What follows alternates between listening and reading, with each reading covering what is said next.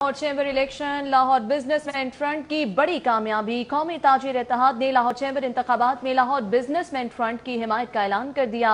शहर भर से कौमी ताजिर इतिहाद एल बी एफ़ को वोट डालेंगे। आज़म क्लॉथ मार्केट के मुमताज़ रहनुमा हाफिज आबिद अली की रिहाइशगाह पर लाहौर बिजनेसमैन फ्रंट के चैम्बर इलेक्शन के उम्मीदवार के एजाज में तकरीब का अहतमाम किया गया।